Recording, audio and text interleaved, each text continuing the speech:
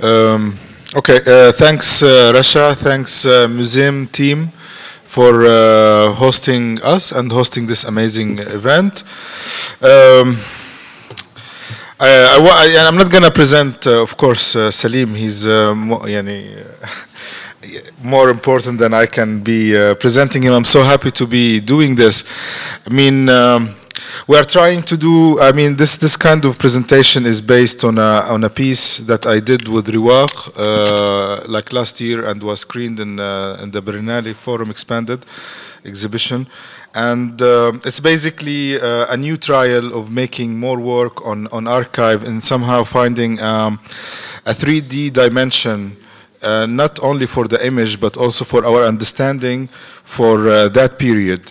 Um, I, I- would like Salim to go directly because this is the most important uh, part. And um, yeah, I will come after that and we continue uh, about this topic together. Thank you. Um, I want to thank uh, Rasha Salti and the organizers of this great conference for inviting us. This is a great occasion to be here with Mohanad Yaqubi, who is not only a colleague but and a brilliant uh, uh, perceptor of the great possibilities inherent in the technology of uh, photography, but happens to be a, a descendant of the great uh, Palestinian poet who, like the subject I'm going to discuss, is almost totally unknown today.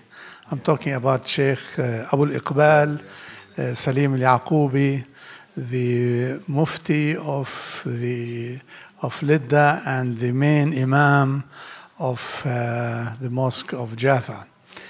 Uh, he was a great figure in the Ottoman period, and like the subject I'm going to discuss, uh, has uh, vanished with it. And hopefully, through Mohanad, we can revive both the period and the dynasty of this great family.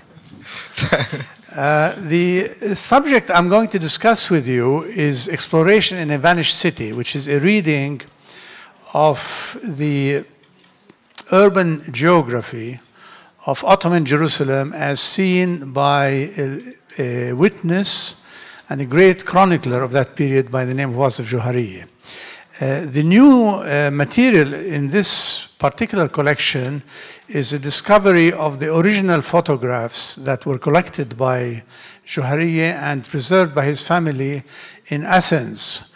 And uh, a year and a half ago, I, I took a special trip to Venice, and the family kindly allowed me to make copies of that great collection, which differs from the uh, Beirut collection that we had so far, in that it contains immense details of annotation, description, commentaries, and classification of this photographic collection. Uh, collection uh, has been revived uh, through his uh, narrative of Ottoman and Mandate Jerusalem, which were published by IPS in two volumes. And today we discuss another feature of this great chronicler, which is the visual part of Ottoman Jerusalem. His uh, memoirs, uh, some of you are familiar with it, spans over 60 years of Jerusalem's history, covering the period from 1904 to 1968, which went through four regimes, five, five wars. It witnessed the transition of Palestinian society into modernity and the breakup or breakout of the Arab population outside the old uh, city beyond the walls. Johari himself was, above all, known as virtuoso oud player and bon vivant. He chronicled the bohemian world of the music of Bilad al-Sham and its main exponents in the years preceding the Great War. He has a very special notebook, الدفاتر الموسيقية لواصف جوهرية, which is unpublished, which uh, contains a, an inventory of the great musical bands, oud players, and theatrical groups that dominated the Jerusalem scene in the early century. Uh, I became interested in this subject recently because of my reading into the photographic images of the what I call the melancholic journey of Hussein Hashim al-Husseini in the land of desolation. And here we see two very unique photographs. In the first one, which has become an iconic picture, uh, we see the surrender of Jerusalem by the mayor he was commissioned by Governor Izzat Beg to sign the uh, surrender uh, papers with two sergeants, which were the uh, scouting teams of uh, General Allenby's soldiers, accompanied by the Commissioner of Police. And this happened on the 9th of December 1917. And on the right, we see a desolate picture of Hussein Hashim, uh, having left his position on a very uh, lonely road on a rainy day, it was December 1917, going into the unknown horizon. So it's a very iconic image of surrender, or so it seems, because that's what I read in the pictures when I saw them first uh, in the Beirut collection. And all of a sudden, we have a completely new perspective of these two images, as I will narrate in a moment. I was fascinated also by the figure of Hussein Hashim because he occupies so much in the turbulent years between 1910 and 1915. He was not only mayor, he was the son of a mayor, Salim al-Husseini, and he, on the side, undertook the construction of the port called the West Bank port in the Dead Sea, which is almost a, a, joke, but at that time it was not. It was meant to bring grain from the eastern bank to the west bank to support food feeding for the southern flank of the Ottoman army in the Sinai uh, Peninsula. So this is the picture I was talking about. And all of a sudden, I saw it again. And this time, it had a caption on it, which did not exist in the first collection that we had in Beirut. This was the collection that I found in um, Athena. And underneath it says Hussein Hashim al Husseini and his tuck carriage on the road to Sousse in 1907 which is 10 years earlier than I thought the picture was. Now, Beit Soussine happens to be the estate of the Husseini family, and uh, Wasif himself belonged to a family whose father was bailiff or tax collector on behalf of the Husseini family. And they often went to Beit Soussine to collect taxes from the peasants in that region. So obviously this is not a desolate road, this is the unasphalted road taking us to the estates of the Husseinis. And all of a sudden, Hussein Hashim is not a sad figure, he's not a broken figure, he's out to go get his money from Beit Soussine. Huh? Beit Soussine is a village in the vicinity, in the western part of the Jerusalem district. Uh, Wasif's relationship to the Husseini is uh, very well established in his narrative. It goes back to his father, who was a mukhtar of the Orthodox community and a lawyer who practiced in Sharia courts in Jerusalem. Uh, the writings of uh, reflect a special relationship of patronage with that family. The writing and photography of Wasif refute the long-held notion that Jerusalem was divided by ethnic and religious quarters, which today we know as the Armenian, Jewish, Christian, and Muslim quarters. His social relations with the Husseini family, coupled by his cultural enterprises as a musician, portray a city with distinct Jerusalem communal identity that grew and competed with other identities at the time. It is the visual narrative of Jawhariyyeh's photographs that gave dimension to the dynamic, changing social life that was first transformed in 1908 and abruptly ended in 1948.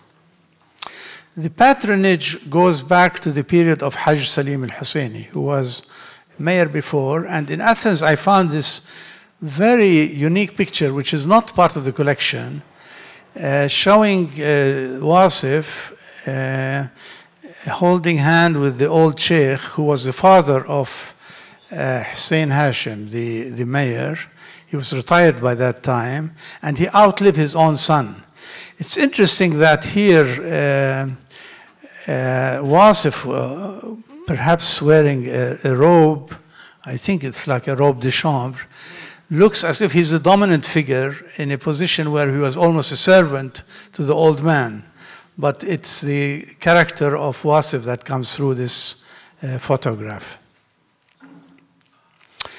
The side of, uh, of ethnography in this photograph is overwhelmingly sensual. There is the audial, the olfactory, and the sensual. And one uh, feature of it is the description of the scene where the musical scene is dominant. Bands, players, visiting theatrical groups, uh, all of these permeate the two volumes of his memoirs. Taken together with his diary, the albums under consideration is a sensual tour de force of the early modernity of Jerusalem. I described it as at once olfactory, audible, and above all, a visual experience. The olfactory narrative permeates his guided tours of the old city, and the celebratory mausims around that punctuates the seasons of the holy city. Uh, and I accompany this text with a description of what is what he calls the Bir Ayyub picnic. Uh, every spring, the water starts flooding from the uh, regional mountains around Jerusalem, and people go and do their picnic in the Bir Ayyub area. And the place is exactly where the sewage of Jerusalem is uh, running. And it's in the nature of uh, Jawhariyyeh's description that the smell of the rabi'a, of the flowers of the spring, are mixing with the sewage of Jerusalem. And he explains how in Jerusalem mines, the two mixes together heralded the coming of the spring. But the olfactory also is replicated in many other scenes, especially going through description of street by street, shop by shop, of all the senses and the smells of the seasons, the tawabil, uh, in the shop of the old city through the meat market, uh, Suq al-Attarin, the perfumes market. These are brought back in a very uh, concrete way in his ethnography. Uh, the gaze to the city is seen through levels of perception, through uh, what he calls Sanduq al-Ajab, the magical box, the magical lantern, which developed at the time through three-dimensional photography, uh, the stereograph. It's not three-dimensional photography. It's the uh, visual experience of 3D through the stereograph and through the cinematograph, which was a very new introduction to the city. The first uh, cinema opened in, in Jerusalem uh, in 1910. And here, this picture is taken in 1915. It shows uh, the use of the cinematograph, which is the movie camera, showing the launching of a speedboat in front of the Notre Dame building going to join the Ottoman Navy in the Dead Sea, which I'll be speaking, speaking about in a minute. So this is one of the earliest use of the cinema uh, as a, a military pro propaganda for the Ottomans. Wasif's collection contains a large inventory of signed photographs by colleagues, friends, but also notable members of the community. Uh, here we have a picture of the future mayor Raghib Nashashibi on the right, Ruhi Bek al-Khaldi, who in 1911 published a very important book called uh, Sirr al-Inqilab al-Uthmani, the secret of the Ottoman Revolution. And at that time, they used the word inqilab in Arabic and Turkish, uh, and still in Persian until today to mean revolution. Uh, so he was welcoming this great event in this, the first monograph published about the 1908 revolution. And then we have a very beautiful picture of, uh, with dedication by Khalil Sakakini, and a third one by three friends from the Nashashibi family of Wasif. He also uh, acquired a large number of uh, public, military, legal, and uh, political figures from the time. On the right, we have the stern figure of Roshan Beg, who was the Albanian um, governor, not governor, uh, uh, military commander, Amir Alai of the Jerusalem garrison. And he had a very kind relationship with, with uh, Wasif because he always assigned him in places which did not expose him to enemy fire, which was in the south. And he was actually stationed Dead Sea, which did not see much military action in the war. Here we have an example of the notation system which was meticulously recorded and inventorized in the collection. We have about 9,000 entries of this sort, uh, containing picture with the notation, the description of the title, and then a narrative about the content of that title. And here is one entry uh, about uh, Musa Kazim al-Husseini, who is uh, not too distantly related to Serene, uh, to Leila Shahid, sitting in front of us. Uh, Johari also chronicled the process of self-rule in which we learn that the majority of governors and lawyers and judges and administrators in Jerusalem were actually local people.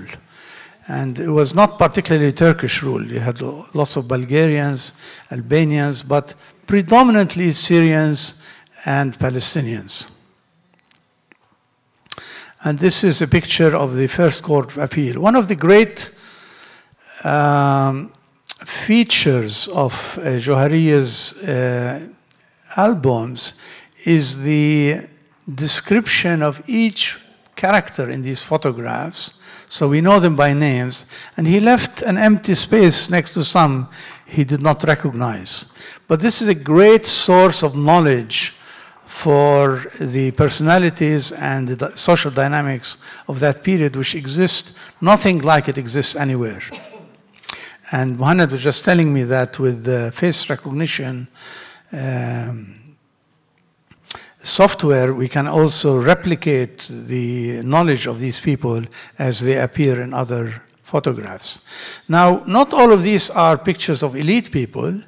We have a, a substantial number of uh, street people, uh, street scenes, and demonstrations, which I will discuss in a moment. But one of the great features of this uh, imagery is a record of the modernity of Ottoman Jerusalem we have a recording. This is a unique picture. Uh, it, only two of it exists of a train which no longer, no longer exists, carrying troops from uh, Jerusalem to Al-Bire, near Ramallah. And that train was dismantled in 1919, so it doesn't exist anymore. Uh, I recently examined the record, Wasif's record on this train, and one of the great shocking experience is that the collective memory of the Palestinians of this train does not exist. Most people, old people I spoke with from Bire, had no memory of it. And they denied, they thought I invented this train. And without Jawhariyyeh, actually, uh, there's no proof of it, except one single proof that I can tell you about in the discussion if you're interested. He also established the building of new neighborhood outside the old city, introduction of the cinematograph, the entry of the gramophones into the cafes of the old city, and the electrification of the city beginning in 1915. The great event uh, was in 1908 in Jaffa Gate and in other public squares of the city the declaration of the Constitution in 1908 and the celebration of the new freedoms. Uh, so here we see kids selling papers, which began to appear for the first time after a long period of suppression uh, after the declaration of the Constitution. And this very unique picture, which I could only find in the uh, Jawhariyyeh collection, is uh, Governor Wali uh, Al-Quds Sharif, uh, Ali Akram Bey, addressing the crowds in Jaffa. As far as I know, this is the first ever picture of a political rally in Bilad al-Sham. Uh, there may be others, but, uh, but I haven't seen any other pictures. So this is 1908 in front of the Sarai in Jaffa with Ali Akram Beg hanging on a column which does not exist anymore in Jaffa. Uh, we also have a record of the emergence of the first free press. Uh, we have Al-Quds, published by Georgi Habib Hananiya, 1908, and uh, Filastin, published 1911 in Jaffa. Um, and those pictures were recorded also in the Johari, Jawhariyyeh collection. In 1915, Jawhariyyeh records the establishment of the Red Crescent Society, which is a unique uh, organization uh, headed by Hussein Husseini, the, the despondent mayor we spoke about, and uh, involving a large number of um, Muslims, Christians, and Jews. Uh, it had uh, Brahim Antabi, Eli Eliashar, and Leah uh, is a very unique picture of Leah Tannenbaum, who became later the mistress of Jamal Pasha. And many people believe that, at least Jawhariyyeh thinks that way, that uh, the young Turks under Jamal Pasha became swayed towards the Zionist project by his particular relationship with Miss Tannenbaum. And it's not clear how pretty she was, but uh, it's a vague picture of her which appears. She's number three from the right. This is one of two pictures that exist of Leah Tannenbaum, and um, it, it's a very unique uh, image, actually. Wasif appears as second from the right, standing, and the number seven is under his chin.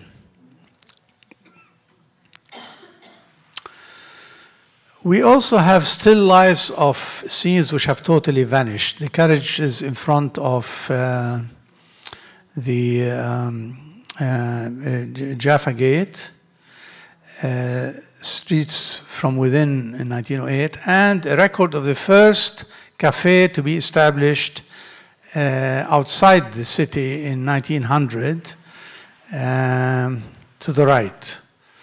It's a kind of khashabiyi. The picture on the left shows the famous, iconic Hamidian Tower, which uh, will be a subject of presentation by Mohanad, right? Yeah. Mm, yeah. And the ethnographic material in this photograph is interesting because it also shows a great amount of public expenditure and urban planning. Here we have the inauguration of Jamal Pasha Boulevard in Jaffa in 1916 and the inauguration of the first bridge on the River Jordan. One reason why the Ottomans had a navy to bring grains from the east to the west is because there was no proper bridge. So the only way to bring things from Transjordan to Palestine was through the Dead Sea, or the, the main uh, efficient way. This bridge actually is interesting because it contains the names of the engineers, officials, and workers who were involved in the building of the bridge. Behind each picture, Wasif had recorded the names of the people involved, and you can see the numbers in red. Uh, in 1914, the army began in earnest to conscript people, and this was the process that became known as Seferberlik, which brought a lot of disasters to um, Syria and Palestine. We know that one sixth of the total population of Syria was uh, died from the war, which was the highest proportion of deaths in the whole world at the time, much more higher than Britain, France, Belgium, and Germany in, in proportional terms. Uh, during this war, Wasif was conscripted uh, and became a naval officer in the Dead Sea and was one of the happiest periods in his life. Uh, mainly because he was entertaining the troops on the ship and um, he, they, they, used to call him hashish officer for reasons that I leave it to your guessing. He also chronicled the um, various crafts in the city. This is a very interesting picture of the building of the uh, Muristan church, the Baga, and he names the actual builders in it. This is a picture which is hand colored from that period. Of course, Seferberlik and Corvée labor is the bitter experience of the war, which he recorded very meticulously. These are uh, people doing sukhra work or corvée labor, uh, cutting tunnels and trenches all the way from southern Jerusalem to Bir Sab'a. He also recorded the first protest by women. Not many women actually appear in, in Johari's pictures, but we have a unique picture from 1919 period of the leading activists I don't know if you can call it a women's movement because the beginning of protest, but we have a, a picture which has Zulaykha Shhabi, uh, Hind and other activists from that period. Deserters were hanged, and Johari also recorded that, and he often uh, wrote the name of people who were hanged for desertion or communication with the enemy which in that period was the British. This happened before the great mass hangings in Cannon Square, Sahd al-Shuhada, in Beirut in August 1915. This picture is from 1914, one of the first hangings which the Ottomans executed in, in Jerusalem.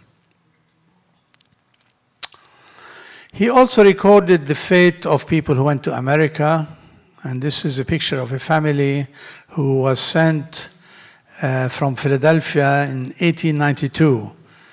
And he lists what happened to them and who, were the, who they were.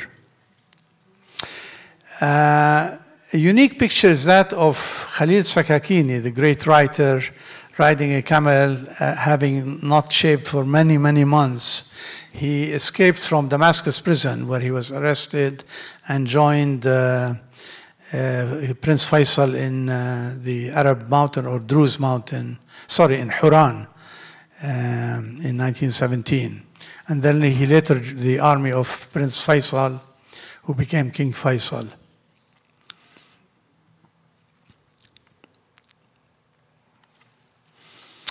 So I end up this presentation, I hope I did not take much time, by a reference to the iconic Hamidian uh, clock tower. This was a towering architectural monument of Ottoman modernity in Jerusalem. It was designed by uh, uh, a, a, local uh, architect by the name of Sarufim, Ibrahim Sarufim, and uh, to the from the planner's point of view, it ushered the new age of constitutional freedom using a synthesis of Western, um, Austrian um, architecture and Oriental themes that they thought was essentially Ottoman. The blowing up of the Hamidian clock tower in, uh, I think, February of 1918 was seen by Wasif Johari as a vindictive act undertaken by both Charles Ashbee, the city engineer, and by General Storrs, the governor, uh, which was like their vengeance the, from the Ottoman system. And it ushered, and in people's mind, the symbolic repression of the British rule and nip the possibility of freedom and independence that they hoped would be coming from the proclamation of the Constitution of 1908. Thank you.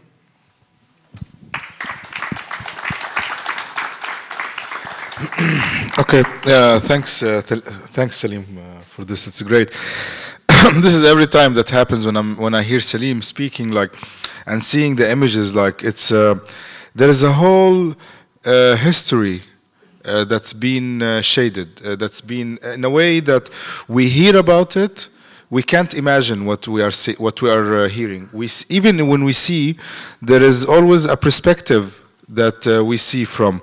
Um, I mean, I've been living in uh, Ramallah for uh, 20 years. I maybe went two times to Jerusalem uh, in Ramallah, and um, only by looking at uh, the, the, the text and the, especially the Wasif Jawhariyyeh diaries, Wasif Jawhariyyeh diaries, it doesn't only give uh, a, a, social description of the place, but as much it gives like a, an insight and a perspective, a way to look at the city. It's, it's a way that would be like my way or any local or any Palestinian living in, in, in Palestine would be looking.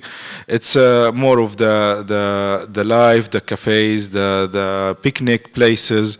It's basically the, the back, back backdrop uh, connection, social connection between the people, like the way he described uh, the families living in their neighborhood, the way he describes the, the, the celebration and the events that happen. It's just uh, someone that is, uh, that is local.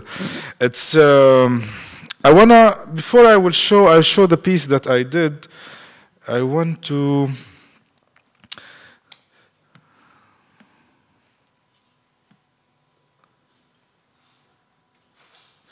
You know what? I will do something. Just excuse me for a sec. So I can see as well arrangement, mirror display. Yes. Okay. So all of all of all of this uh, descriptions and image and history and Ottoman and Mandate and Balfour, all of that happens in uh, in this area here. I mean, this is the the whole space. I mean, I was I was like because uh, like reading a lot about it, and then like, okay, how does that look from uh, from somewhere else? And it just looks like that. Here is uh, Jaffa. Here's um, what we call Babel, uh, Damascus Gate, Babel Amud, and here is Jaffa Gate uh, Jaffa Gate is where the the new city. So if we are looking here, I mean, it's it's just kind of uh, interesting exercise to know the space that we are talking about, just to uh, to kind of remove this uh, invisibility or this uh, shade.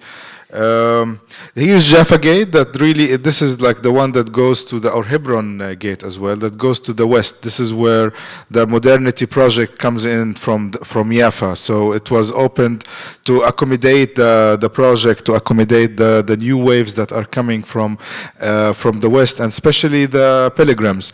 And here is the Damascus Gate where, it's, uh, where it looks more to the north, which goes to Ramallah, Nablus, Jenin.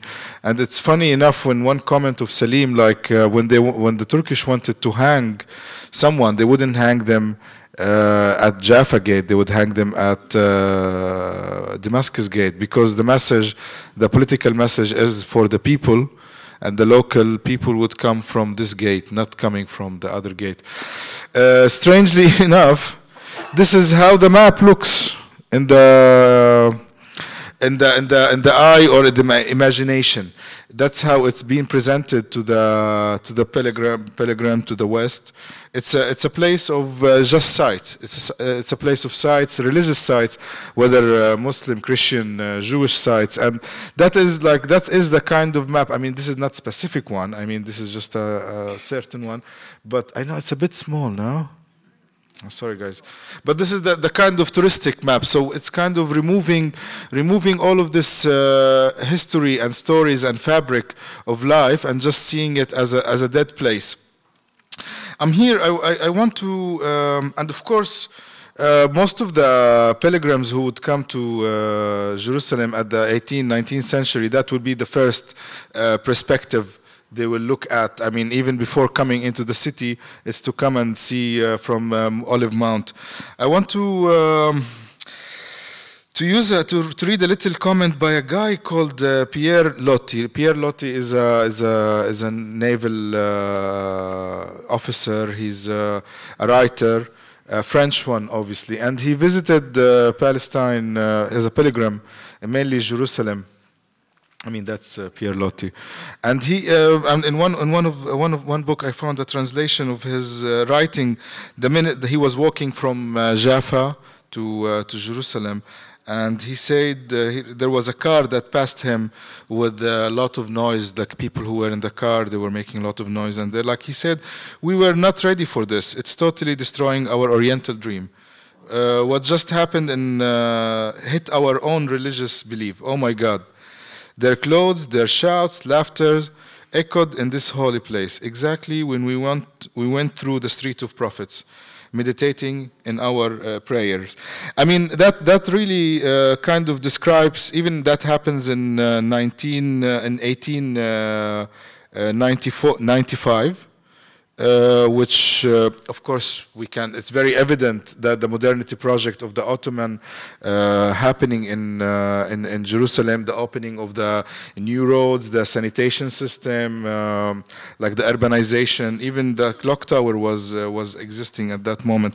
But that that really describes the that the way we are looking at the city, at least the pilgrims. Uh, it's based on on text. It's not based on what we are seeing in front of us.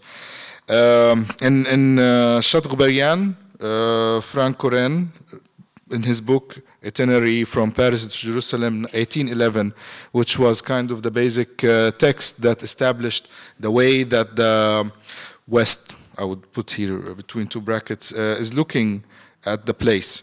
And exactly from the same uh, place of Jerusalem Mount, he stand there, Chateaubriand, and said, wrote, Jerusalem houses look like a low high square blocks with no chimneys or windows. They look like tombs or jails. I mean, that is uh, the moment where he comes, that in 1811 there was maybe like around 8,000 people living in that place, but he couldn't see anything. It was a, it was a, for him is just a jail, a place to uh, to think to to to remember, and somehow. I've been interested in, in, in, really seeing what, what, how did that image of that place uh, was established. And um, it was funny, the other day I went to uh, uh, La Ciotat, where uh, uh, Lumiere brother uh, made their first shootings, they made their first private screening. And I was thinking, like, what did, what really pushed them to go the next I mean, then they filmed in France, and then they went to Jerusalem, to, to Palestine, 1905, to uh, to film there. So what what what was that? What was the the place? And then I started to realize a little bit what is uh, that cinema. At least seeing how La Cité is being. I mean, I I talked a little bit to some people there, and for them, this city has been or this place has been like a, a summer place, summer summer town for many of. Uh, uh, the upper middle class uh, French from the industrial uh, area. So even the activity of cinema was an activity of entertainment Uh, of, the, of that moment. It's like the, the families are there having some kind of an outside uh, night uh, activity, which was cinema. And that kind of somehow explained why they were like filming like the first, first train shot, other shots were filmed all around La, La, La, La, La Cité. But also also, and somehow uh, thinking about uh, the the not the religious aspect, but like the industrialization of uh, of Europe at that moment created a, a big a big crack between uh, religion and the practical life. I mean, that, that, which which is which wasn't the separation between the church and the, the state. I mean, this is a big thing of the whole modernization of the of of, of the West, and uh, uh, to to fill up this gap and somehow uh, was the image of the holy sites, the holy place was very important, and I might suspect that this is also that the Lumiere. I, have to to look more on that, but the Lumiere were uh, maybe funded by uh, kind of religious people or like uh, right wing, or I don't I don't know if that right wing is the right term now to use, but it's. Um, that uh, they were funded to go and, and show show us the the Holy Land. But it's it's very funny. Like even for me, I have that kind of uh, disadjustment. Uh, like I have I haven't that perspective to look at. Uh, five minutes. The, the perspective to look at the place. Even for me now, as a as a Palestinian living in Ramallah, and somehow I look at this. Uh, I try to look between the the the shades and the the clouds of memory and try to reconstruct an image of of that place. Um, that's why I mean we did I did this piece of work uh, was commissioned uh, by uh, by Ruwaq based on a research by uh, Bshara who's also based on an edited book by Salim and Issam Nassar. I'll, I'll show you the piece and then we can maybe talk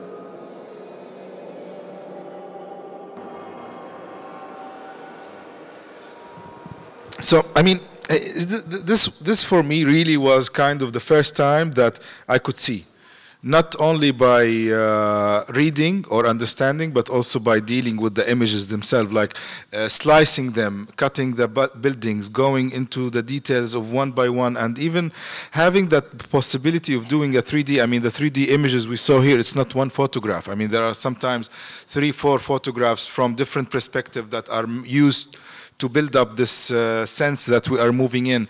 But uh, going, I mean, seeing seeing how much that detailed uh, process of, uh, was, uh, just made me realize how much is interesting to to look at that history. Uh, from that photographic pers- perspective and kind of not rebuild a, a site a, a site scene of Jerusalem a map but no we can live a, a livable experience of that moment it's very important uh, just like i mean knowing a little bit about it like that there was a, a, a unified uh, municipality of uh, for example of jerusalem that stayed till uh, 1936 that unified municipality that had like six muslim two christians two jewish. I mean and they were running uh, the whole the whole uh, the whole city. But um, this again this is a trailer of a, of a film that we're hoping uh, to be working on. It's going to be all photograph. It's called On That Day because it focuses on that day, the turning point of uh, Allenby coming in. He was a general. I mean, this is one of the funny things. Like, should I talk about him as Field Marshal Allenby? But when he entered Jerusalem at that moment, he was General Allenby. So I still keep talking about him as uh, General Allenby. At the moment when General Allenby came in and like destroyed or interrupted the modernity project that was the Ottoman, but I think also that the local uh, Palestinian people were adapting that model as a way of uh, uh, managing the relationship between the endless minorities of the of the place. Um, yeah, I think it's uh, that's it for now. Maybe we can uh, have it with Q and A. It's better. Thank you.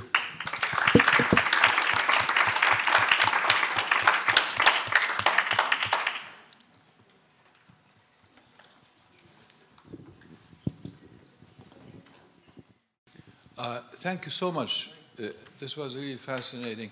I have two questions, one for Salim and the other one for Mohanad in same that famous picture of the surrender uh, of the uh, surrender of Jerusalem, uh, December 9th, 1917. Uh, did you imply that Jawhariyyeh took it? Is that true? No.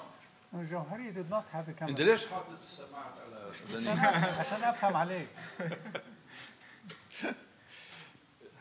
Jawhariyyeh did not take that picture, right? Do you want me to answer you? No, I'm asking so I can ask my next question. Ah, uh, no, he did not. It's taken from the collection of the American colony. No. No. Uh, is that the next question? No, no, look, he had it in his collection. That's what you said, right? Uh, Secret Jahari scans. actually did not have a camera. He never took a photograph in his life. He was a collector of photographs, Collector of and photographs, okay. his his. I'm, I'm glad you brought this question because the importance of Jawhariyyeh is his annotation and commentary, and the fact that he collected them and uh, uh, inventorized them. That was a bit misleading. This picture was taken by Lars Larson, who was the head photographer in the American colony. I see. And he accompanied the entourage. He was, he was actually assigned to be one of the photographers of Jamal Pasha, and he accompanied the entourage of uh, Mayor Husseini uh, in order to take a picture of that. Uh, he was the only person av- available at that moment with a camera. My own research on that implies that the, this photograph is staged later in the day because of the shadow, that there was no photographer, and they brought him in at the end of the day with the two soldiers who, went, who left Lifta early that morning to look for fresh eggs and a light for their cigarettes. So they bumped into the mayor and the entourage. And they didn't want to take the keys because they were not looking for keys. Now, my, my question this is like after this long digression the little kid on the left who is usually cropped out of that picture, is an Eliashar. Uh, he was found years later for a documentary that Israeli TV had on that day in December, and he told the story. And I noted that in the 1915 notable picture, there's an Eliashar. Could it be there's a connection based on face recognition that you could find between the two? Maybe he belonged to the family of that notable, and that's the reason he was in the entourage of Well, Husseini. I'll leave the answer to the second part to Mohanad. I just want to say, I know there's controversy about that picture. The picture was taken Sheikh Badr, which is way far from the center of the city. Um, the story is that these were scouting, scouting, they were both sergeants, so they could not be the advanced troops of General Al- Allenby. Uh, he- would not send sergeants to receive a surrender of the city. So that part is correct. However, uh, it's unlikely, in my view, that was staged because um, why would uh, the mayor go to Sheikh Badr again to take a picture of surrender, which is very humiliating? And he does look confused and perplexed, but um, I, it's something to look into. Yeah, uh, there's a like a counter narrative of this written by the commander of the unit at Lifta, who tells the same story about the, these two soldier, soldiers that appear in the picture. So this is like something that maybe And he's the one who said it was staged. no. He talks about the soldiers. The staging is like comes later, but uh, let's uh, take this up privately afterwards. Uh, my question to Mohanad No, this is a picture. This is one. the- okay, Yeah. okay. So this little kid who is uh, This one here. Yeah. He actually has the names. Uh, I have another had, he had them wrong. I, I remember that from the book. I have a picture with the numbers, The numbers, on the, right, that's- on the that's head like of a- each of each person, Yeah. indicating who they are. And it's the only one where the numbers are found into the Jawhariyyeh Right. collection. You, you published this in the Jawhariyyeh book. Yeah. Yeah. Yeah. My, my, my other question, I'm, I'm sorry I'm digressing, and my other question is about uh, when did you say the Hamidiyya Tower was demolished, blown up? It was uh, uh, blown up in early 1918 by. Um, Before Allenby showed up on the 18th of December or after? Oh, much, Allenby? much later. It was the military command was already established. Uh, Allenby had withdrawn at that time, but uh, Storrs was the new military governor, and Charles Ashbee was the city engineer. So it was. Uh, actually, I don't know the exact date, but it happened uh, several months after December. After, after Several months of into Allenby to, uh, 1918. on the 18th. Yeah, but it was uh, during 1918. Uh, My, my, my question to Mohanad, I'm, I'm sorry, go ahead. No, no, no. I'm just adding that the description, uh, description of uh, Hani of Wasif Jawhariyyeh uh, about that he had a model of that clock in his house, Oh. and he had the phonograph of the model of the clock of the Hamidi Tower uh, with the phonograph in the middle, and that's basically how I based the sound that is going. See. With that, okay. yeah, but just, My- uh, my note. question about that tower is the, in the picture you showed, it shows two clocks on the top, Different times. different times. Yes. One is the Muslim time, and the other one is Western time. Is it? I, I always uh, wonder. I mean, it was like. It's, it's uh, not like two okay. clocks that one shows the wrong time. It's the fact that until that uh, uh, that year, around the Ottoman Empire, there were two systems of time: Muslim time and Western time. Okay. This is the same case of the Hamidi Tower in Beirut in 1897. It shows the same image of two, two clocks. So the, the blowing up of that tower probably would have somehow symbolize the end of Muslim time and the beginning of Western time. Would, would that be a, uh safe way of putting it? No, I don't. I, I don't. I don't personally. I don't. Uh, it's maybe the the colonial time. I mean, you I can, you can uh, sort of interpret once you you you find out that that's what these these two faces of the clock show. Because Okay. in 1920, when the Allies took over Istanbul, that's when Western time was the legal time of the Middle East, Okay. and Muslim time was sort of brought out of the- Withdrawn. the picture. Okay. So, so I think this is probably like a, a moment in time, so to speak, that Yeah. warrants some Definitely. I mean, the the this whole thing. It's like the shift between uh, the two times: the the Ottoman, the Empire, the Muslim, the Christian, or I don't know. It's uh, yeah. It's definitely a question of time. Yeah. Definitely. Uh, there's a book that was published by an historian at Tel Aviv University called Reading Time a la Turca. Yes. that- Emily that- mentioned that. Yes. Yeah, yes. that implied talks about this. Uh, can I just uh, add a point? Uh, I think it's not really Muslim time. It's uh, z- uh, Ottoman it's. Zawali time, which uh, regulates the times of prayer and so on.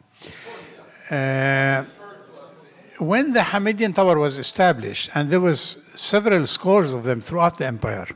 In Palestine, there was in Haifa, in Nablus, and Jerusalem, and of course the famous one in Jaffa, which looks completely different. Uh, that one had only Western time in it, did not have. Some of them had Zawali time. And it was expressly said at the time that the clock was meant to regulate the time of industrial progress and prayer time. So, he, like Muhammad Anwar Sadat, he wanted to integrate uh, science, technology, and Islam at the same time. He wanted to be known as the Sultan of progress and technology as well as faith. So this duality, but I, it was clear that the blowing up of the bridge uh, of the tower was not aimed at Muslim time, but at uh, the vestiges of Ottoman presence. Yeah, okay. Fine. Yes. You could say that. Salim Mohanad, a remark and maybe also a question. Uh, the picture, um, I think uh, that you that you showed um, of the tower, but also from a different uh, angle of the Jaffa Gate, it showed also um, a photo, or an, an image of a sabil, a fountain building. It's a white um, marble building with some black um, um, uh, stones in it. Uh, this was also was removed. So here is the idea. Perhaps maybe Ashbee and um, Storrs wanted to remove anything was added by Abdul Hamid and not just the tower. So the tower is a, as you both uh, claim, and I agree, that this is a symbol of modernity. Oh, the one before, this one, yeah. So you could see um, the tower uh, was removed in this picture, but shortly after that, they removed the fountain.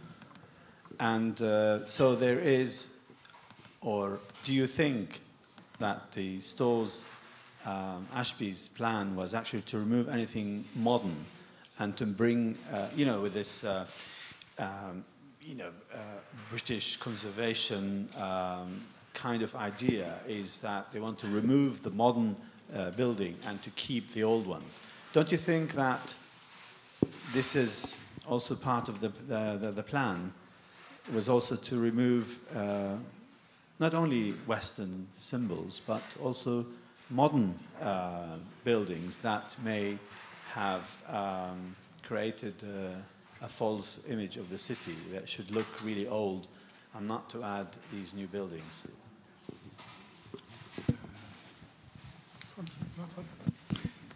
Um, possibly. Uh, I think just to be fair to the British or to Charles Ashbee, who was a civic councillor to Storrs and the city engineer, he began a process of beautification of the city, which established the green zone around the city walls. And that entailed removing all the stores and the new structures, which were commercial structure. And the Sabil happened to be part of that um, Uh, we, what we know, maybe Mohanad knows better, the Sabil was not removed at the same time as the blowing of the clock tower. And we know that the Sabils in Jaffa and in Haifa were not removed altogether. Some of them exist until today. Uh, Charles Ashbee insisted that the, in the cordon vert around the city, the greening of the city entailed removing all the structures that existed. And he did remove a lot of commercial establishments and not only the Sabil. So the Sabil's removal may be part of that. But you might be right also that it was part of this campaign against the Ottoman presence. Yeah. Uh, I mean, even even uh, reading the diaries of Wasif Jawhariyyeh, he actually agreed with uh, Charles Ashbee about uh, that the tower really didn't fit as an aesthetic, uh, didn't fit the the holiness of the of the place, which I really wonder uh, wonder why. Uh, but probably because he was also working with the British in, uh, in, in, in, somehow. So it's uh, so you can imagine that kind of character that can uh, be that uh, pragmatic, that can go with everything. But it also shows how, and it's a direct manifestation how the the West was seeing Jerusalem as a as an open museum something that we can uh, curate and move and and like uh, move and remove uh, buildings to to make it fit with a certain aesthetic to the establishment text. Like for example, Chateaubriand uh, wrote about it. Like how do we do we see this? And it's really interesting to see how how all of this uh, Oriental vision of the place kind of led to the to the disaster of of Palestine because the minute we couldn't they couldn't see uh, the the fabric, the society. It's only we are seeing the past and the image we have uh, or the text we are building up from Im the image we are building up of text that in somehow led to uh, the disaster of the Palestinian people. So if I would say uh, what is the disaster, of course there is political colonial interest and all of that, but it's also there is a kind of a, uh, a dilemma between Palestinians and image. And this, uh, this, this dilemma, it's, uh, it starts with the photography, starts with the early photography, with the early missionaries who are holding cameras, are filming the place. Um, as they imagine, not as it exists. And that's one of the power that camera can, can give us actually. Yeah. Je suis désolée, mais euh, on Sorry, doit euh, finir cette conférence. Euh, le dîner est servi et après il y a la projection. I'm really sorry we have to end it here. Dinner is served and then there's a, another film. Thank you so much, Salim and Mohammed. Fascinating, enriching.